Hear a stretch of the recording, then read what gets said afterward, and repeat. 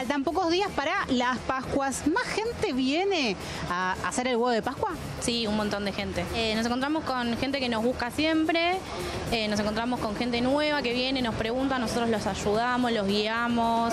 ¿Cuánto se pueden ahorrar hacerlo en casa o comprarlo en un comercio? Y ahorras un montón, ya con 10 mil pesos estás armando de 4 a 6 huevos. Y hoy en día uno comprado está más caro. Se llevan el chocolate, los moldes, ¿qué más? El relleno, las sorpresitas, puedes agregar alguna golosina, completo, completo, completo.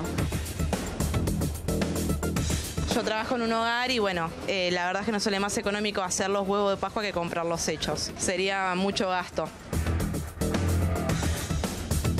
No, generalmente gente que viene a hacerle los huevos para la, para la familia, compran medidas más pequeñas, algunos compran más grandes, compran los confites, comprando el baño es más económico comprar un huevo eh, ya hecho, a pesar de que los que venden son de baño también, no es cobertura, y el precio igual se va muy arriba. ¿Cuánto más te ahorras? Y bastante. Un huevo de marca está a 12 mil pesos. Tengo dos hijos, imagínate, son 24 mil pesos. Entonces es cuestión de, de economía más que nada. Y, to- y este año como que aumentó mucho más.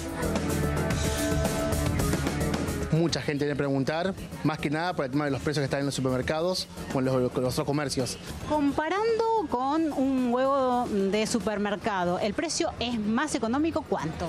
Muchísimo más económico, hasta casi te diría un 60% menos que está en el supermercado. Y más preguntan es el precio del chocolate, cuál es el más económico y el más rico. Y este año me encontré con mucha gente que nunca vino a comprar, que ahora viene a comprar y nunca hizo y quiere probar en hacer huevo de Pascua.